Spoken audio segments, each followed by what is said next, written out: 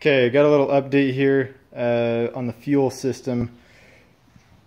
It's all done now. It's all plumbed. Everything's in. Uh, I just wanted to give you guys a close-up of what this stuff looks like. We got a couple AN fittings here. This is just dash 6. Uh, it goes to push lock hose.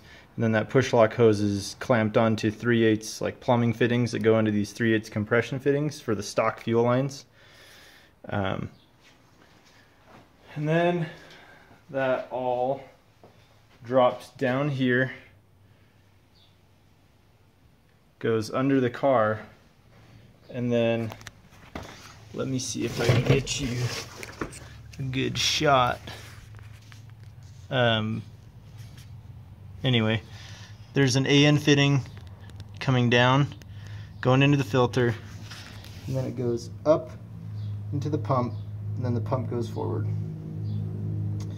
So anyway, the light's in the wrong direction for you guys, but I think you get the point. So we had to swap intake manifolds. Uh, I pulled this one off. The flange right here, where the washer sits, this between where the washer sits and here is actually smaller on this manifold. Uh, it must be a different year or something because on this header, the flange is too thick. It was way thicker. Um, we called the company and they're like, ah, we haven't really had any problems. Maybe you should check and see what intake manifold you have.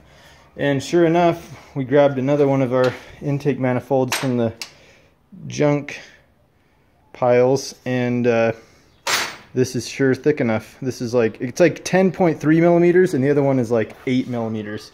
So it's like a 3 millimeter difference. Uh, I'm sure there's a, someone out there that knows what all the differences are.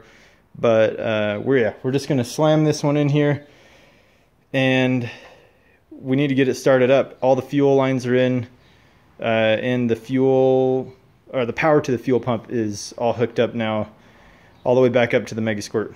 So, uh, just a super quick update on our fuel system. You know, actually, I think you guys should really see. Let me just grab this light and bring it around. I think you should really see the other the other side in good light. I think it's worth I think it's worth a looking at. Worth a look here. Worth a look see. Oh yeah, look at that. It's got a sweet little AN fitting. Comes into some push lock.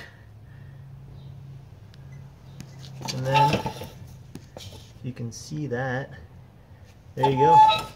There's our pump. It's grounded to the frame. Then on the other side we got power coming from the bay. And then it just follows the brake lines all the way up in there.